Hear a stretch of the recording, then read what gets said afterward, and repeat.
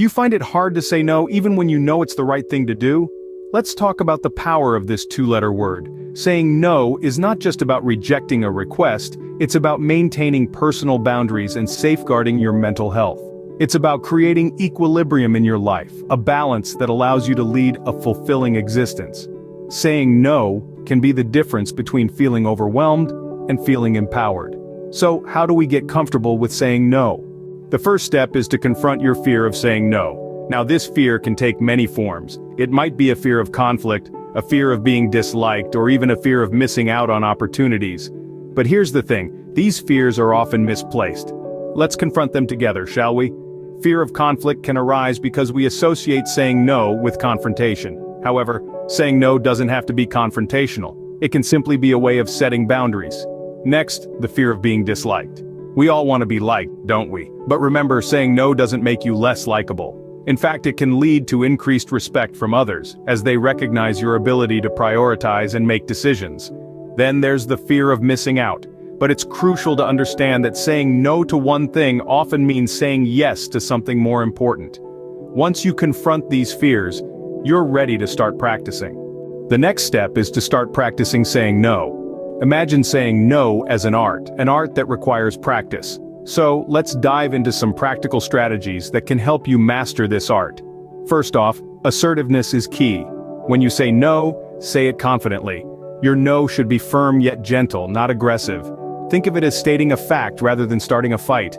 It's not about causing conflict but about standing up for your needs and boundaries. Now you might be wondering, what if they ask me why? Well, offering an explanation can be helpful, but remember it's not obligatory. It's okay to say no without a detailed justification. However, if you choose to provide an explanation, keep it simple and truthful. There's no need to concoct elaborate excuses. A simple, I'm not available at that time or I have prior commitments is usually enough. Next, start practicing in low-stakes situations. Say no to that extra slice of cake you don't really want. Decline that movie night when you'd rather stay in and read. These situations may seem trivial but they are perfect for practicing your no without the fear of significant consequences. Repetition and consistency are crucial. The more you say no, the more comfortable you'll become with it. It's like learning to ride a bicycle. At first you might wobble and fall but with practice you'll gain balance and speed. Keep in mind saying no doesn't mean you're a bad person or a selfish one.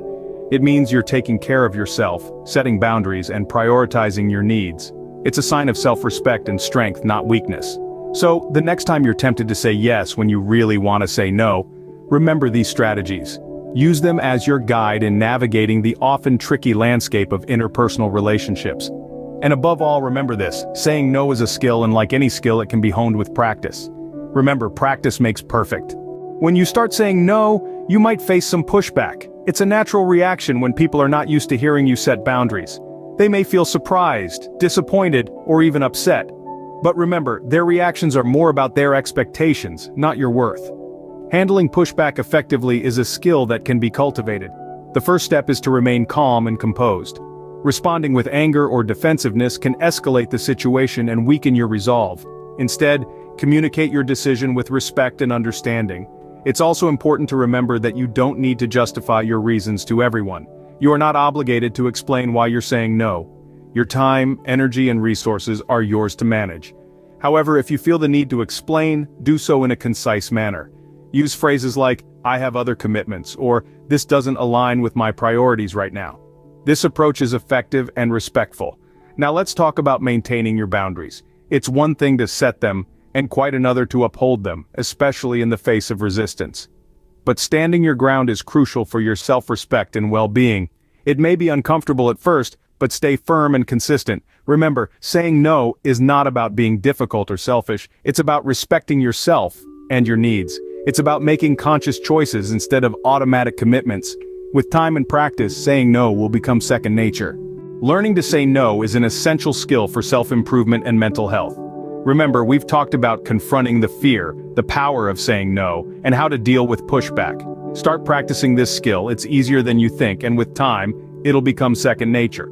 So go ahead give yourself that permission. Prioritize your mental health and don't be afraid to say no when you need to. Thanks for watching. Don't forget to subscribe to our channel for more self-improvement tips. Remember it's okay to say no.